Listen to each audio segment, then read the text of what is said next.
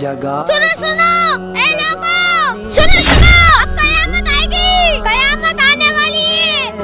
ये इबरत की जा है। अरे भाई साहब ये बच्चा कौन है और ये क्या कह रहा है? अरे भाई साहब ये ऐसी पागल है आप इसकी बातों पे ध्यान मत दो ये कुछ भी बोलता रहता है। दुनिया वालों सुधर जाओ कयामत आने वाली है कयामत आने अरे बेटा सुन बेटा ऐसा क्यों बोल रहा हो कि कयामत आने वाली है?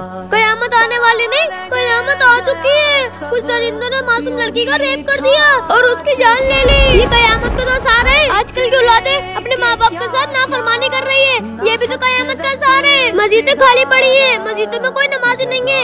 ये भी तो कयामत का सार है। अभी तोबा का दरवाज़ा खुला है। अभी तोबा कर लो। बाद में तोबा करने का वक्त भी नहीं मिलेगा। बेशक कयामत नज़दीक है। अपने गुनाहों से तोबा कर लो।